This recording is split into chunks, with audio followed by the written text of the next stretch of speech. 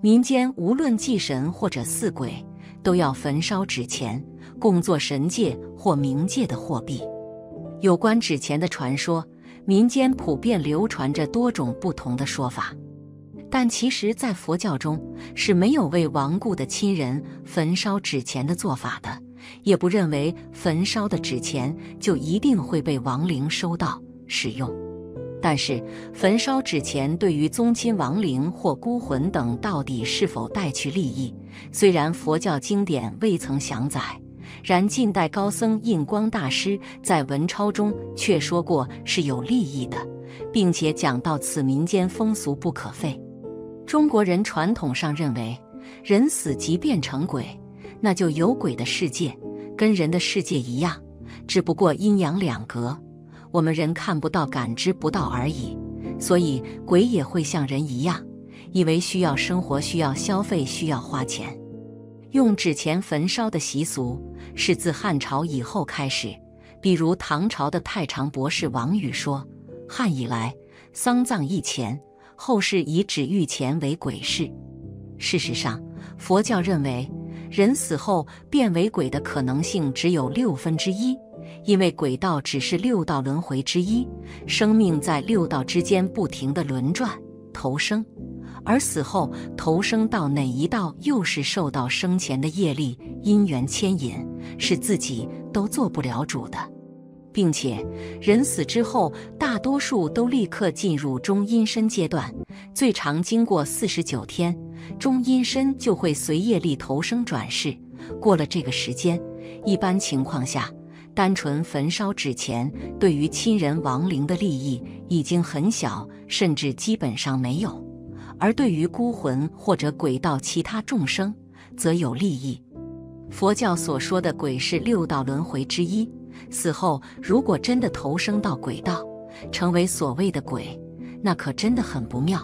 因为鬼道是六道轮回中的三恶道之一，鬼道众生大多十分的凄惨悲苦，佛教常称为恶鬼道，是因为生前或前世造作了相应的不善业力而感应到的痛苦果报，分分秒秒都在遭受着难以想象的痛苦煎熬。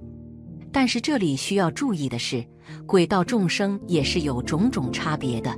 有一些类型的鬼道众生，并非就是受苦的罪魂，如福德鬼等。这类型的鬼道众生，并非就不可以接收到焚烧纸钱所带来的利益。佛教认为，不论在中阴身阶段，还是已经堕于鬼道的亡灵。为亡灵做功德，比如诵经回向或者斋僧布施超度之类，才是真正对处于中阴身阶段或鬼道的亡灵有巨大利益的事情。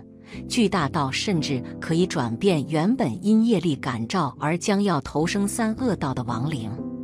与将纸钱烧给亡灵相比，为亡灵做功德对于鬼道众生的利益要大很多。但是佛教是慈悲的宗教，是崇尚感恩的宗教，是恒顺众生的宗教，更是最具智慧的宗教。尽管为先王烧纸钱确实没什么用，但是佛教从未明确反对过这一源自于民间信仰的风俗，就是因为众生迷惑，在还未接受佛教、还未了解真相时，佛教以慈悲与善巧，以佛法不离世间法的智慧。随顺众生，人们如此热爱佛教文化，正是因为佛教确实圆满揭示了生命的真相，告诉了我们六道轮回与三世因果的秘密，告诉了我们人生八苦的根源，告诉了我们生命的境界和层次远远超出我们的认识和感知。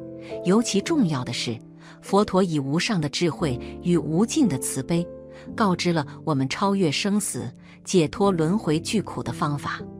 佛教德高望重的印光大师曾经这样说过：“稀薄，当然也包括烧纸在内，不能不烧，但也不用多烧，因为在六道里面，只有孤魂野鬼才能用得到，已经往生的众生都用不到。我们主要是救济那些堕在恶鬼道的众生，才用这个东西。”印光大师提示我们说，要用佛力、法力、我们的心念力，加持烧的纸或者锡箔，让它由一个变成千万个。否则，你眼下烧的几个纸钱够谁用呢？佛陀时代，罗越指国有位那舍长者就用自己的功德救赎了至亲。那舍长者心地非常仁慈，经常接济贫穷、孤苦无依之人，同时也非常礼敬沙门、婆罗门，布施供养时总是非常欢喜，毫无吝惜。但是他的父母看见了，心里总是很舍不得，嘀咕长者不懂得守财，颐养天年。有一天，长者有事即将远行。清早漱洗整装就绪后，恭谨地拜别双亲。此次远行耗日费时，不能时刻陪伴侍奉尊亲，请二老见谅。儿子特别将财物分作三份，一份留作家用，让父母日常所需无所忧虑；一份珍宝做不施用，请父母代为供养沙门或扶弱济贫；一份则留在身边，以备不时之需。父母答应后，长者便带着车队出门了。然而那舍长者走后，老父老母的悭贪习性不改。任何修行人挨家挨户化缘，或有贫穷者上门乞讨时，他们总是借口说长者不在家，你们走吧，丝毫不顾儿子一番善意安排。等到长者预计返乡的日子到来。老人家才赶快从市场里捡了些残余的果皮，四处洒落在家中。那社长者回到家后，见到双亲，立刻欢喜地礼拜问候。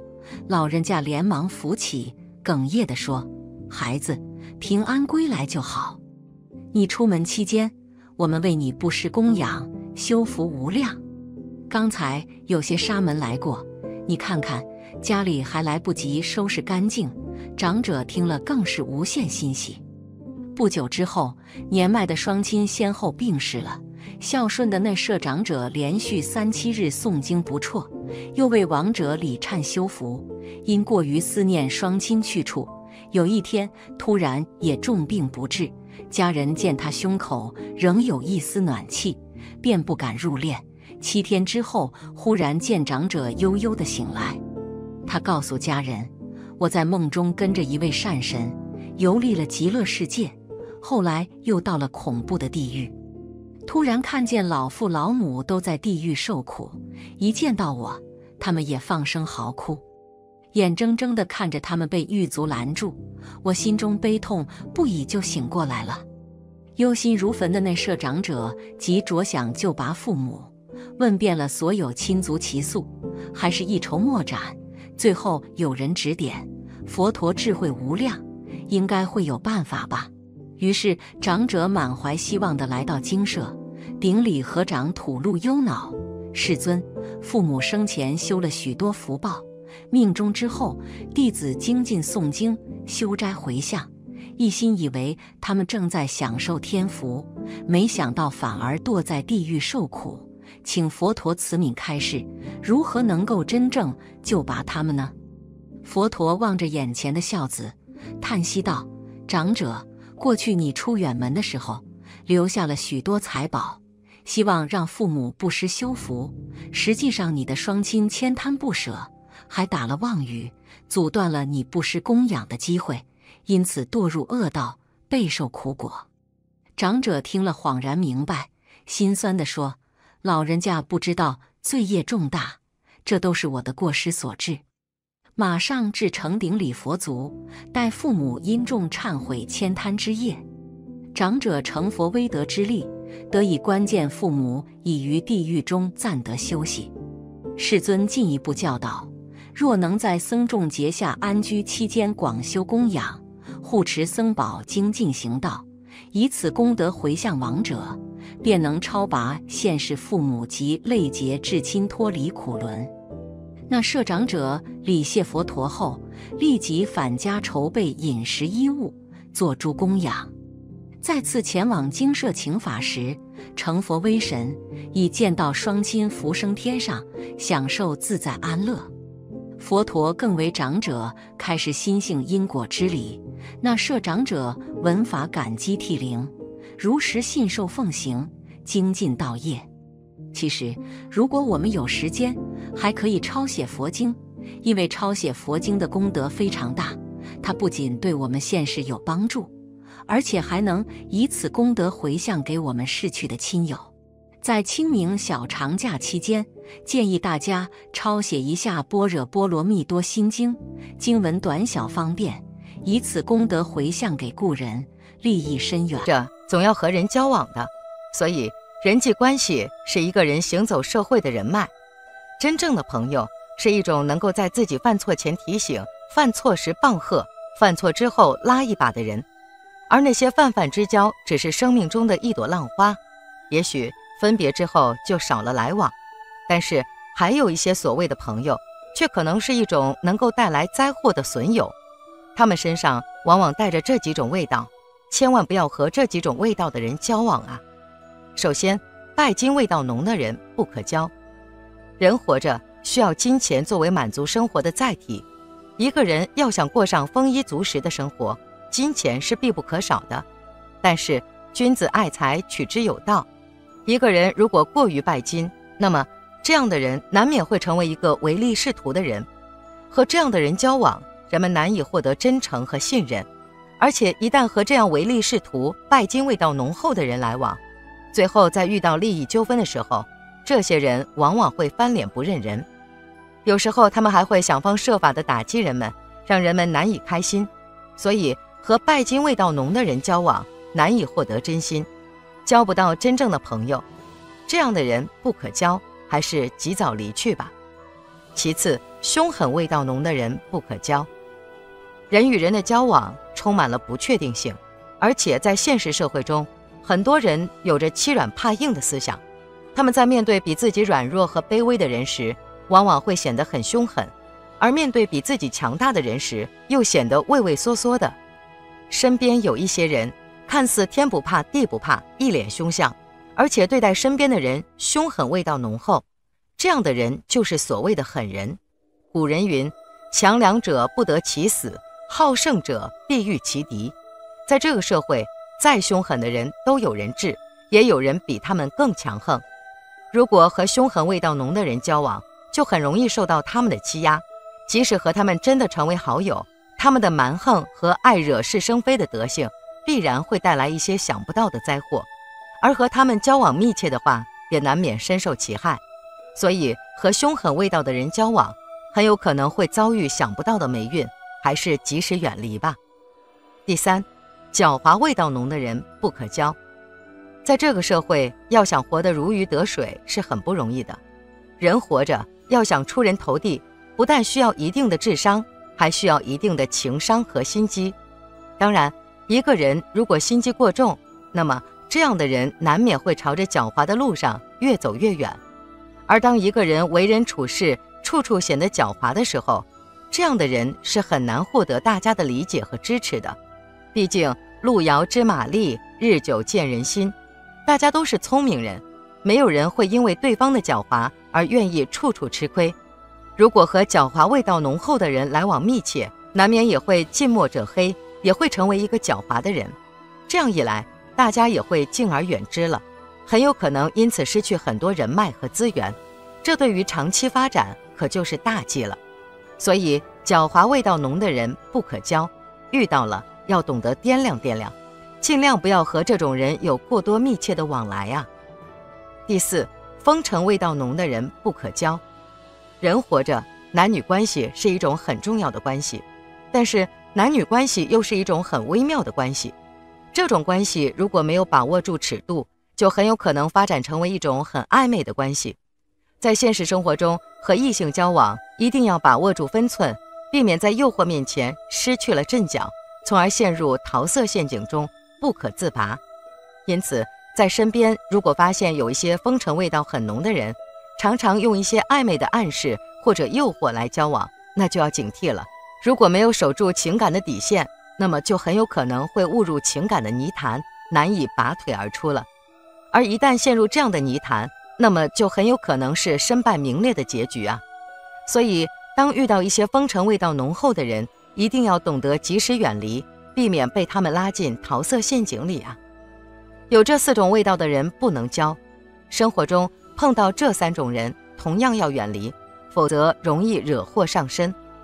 人在交朋友的时候，要懂得认清一些人，不要乱交朋友，不然会把自己的人生搞得一塌糊涂。有些人人品不好，不懂得感恩，把别人的付出当成了应该的；有些人别人对他好，他却认为是在害他；有些人烂泥扶不上墙，好吃懒做，死性不改，帮再多也没有用，还会赖上别人。生活中遇到一些不该交的人，就要学会远离。一贪得无厌、到处占小便宜的人，这种人最大的特征就是脸皮厚，到处占小便宜，贪得无厌，甚至还有人理直气壮。在他们心里，认为公平都可能是自己吃亏了。对这种唯利是图、占不到便宜就满嘴跑火车的人，要立刻与他们断绝来往。有的人与人为善，愿意帮助别人，但有的人也许不是这样想，他们觉得这是应该的。这样的人大有人在。没有原则的与这种人相处，其实就是懦弱的表现。当人们的善良一次又一次被欺骗时，应该立刻警惕，彻底与之断交，远离这种垃圾人。看过电视剧都挺好的，应该记忆犹新。苏大强妻子生前百般照顾无赖的弟弟一家，到后来却不感恩。有人说，林子大了，什么鸟都有，嗑瓜子嗑出个虫子。人在生活中对别人心不能太软。该拒绝就拒绝，该翻脸就翻脸，不要怕得罪他们，远离他们才会安宁。对有些人收起善良之心，别让自己的善良遇到堵心的事儿。二不务正业，好高骛远。有句话说：“近朱者赤，近墨者黑。”跟积极向上的人在一起，人们也会变得很积极；跟踏实诚恳的人在一起，人们也会变得脚踏实地。而跟一般不务正业、好吃懒做、好高骛远的人混在一起，人们也会变得堕落，变得不切实际、异想天开，最后跟着吃苦的人还是自己的家人。阿成是一个货车司机，之前还挺勤奋出去跑单的，但这两年来货运行情不好，他也曾在找出路。没有活干的时候，就拿起手机在平台上刷刷单，看能不能接到活干。后来，他渐渐的就跟电站那帮小混混混在一起了，从早上到晚上都在小房间里面跟那帮人在打牌聊天，这样白天喝醉酒却成为了常态。别人有货找他去送，他也没办法接活干。朋友劝过他好多次，他就是不愿意。妻子二胎即将临盆了，自己却这么堕落，朋友都替他妻子感到失望。电站里的那些人。除了会说一些溜须拍马的话，叫他一声成哥，什么都不会。当阿成出点什么事情的时候，那些人还不是有多远躲多远，根本就不值得深交。环境特别容易改变一个人，跟着不务正业的人走得太近，人们也会变得跟他们一样堕落，对生活丧失了斗志，还拿什么去养活家庭？最后因为不上进，妻子吵架闹离婚，值得吗？如果和不务正业的人在一起，多半没有好事，反而会让自己陷入更糟糕的局面。三，远离人品不好的人，太虚伪，不懂感恩。有一种人品不好的人，特别虚伪，而且还不懂得感恩。这些人自己一点鸡毛蒜皮的事情就发到群里来炫耀，非要别人夸一下。一遇到什么事情，就算是换一个灯泡这种小事，都要去麻烦别人，却从来不懂得感恩。别人对他好，他从来都不放在心上，反而他觉得要是自己付出了这么一点，就使劲的邀功。大牛去年因为结婚，朋友们尽心尽力的帮他弄婚礼，他却连洗头发的钱都要朋友们自己付，事后还想跟朋友们结算一些费用，真的是猫哭耗子倒打一耙。还有一次，朋友在家里弄糯米粥吃，他过来了，一吃就七碗，而且当天晚上还吃麻辣小龙虾，喝酒。并且用红牛混合酒里一起喝，那天他吃的最多，什么杂七杂八的都吃。然后他回家拉肚子了，于是就责怪朋友做的糯米粥不干净，还自己退群了。看到他那句话，幸好他主动退群了，朋友们都想把他踢出去了。自己不控制还怪别人，这种人不仅不会感恩，更是没良心。所以以后朋友们有什么聚餐，有什么事情，都不会再叫他，也不会跟他一起玩，几乎是跟他远离了。因此，无论多熟悉，都不要靠近人品不好的小人。如果遇到，及时拉黑才是最明智的选择。有句俗话说得好：“人怕交错友，心怕交错人。”现实中形形色色的坏人太多了，唯一的办法只有远离，做好自己，心旷神怡。与恶龙缠斗过久，自身亦成为恶龙；凝视深渊过久，深渊将回以凝视。有些人只有认清之后，才能决定绝交，也才能认清身边哪些人值得自己深交。而值得深交的，永远都是踏实靠谱的人，讲诚意、讲道德的人，坚守底线、做事厚道的人。最后，希望人们能够及时清理生活中的垃圾，远离糟粕，还自己一片净土，才能让生活越过越舒服。本期节目到这里就结束了。想看更多精彩内容，记得订阅点赞，我们下期不见不散。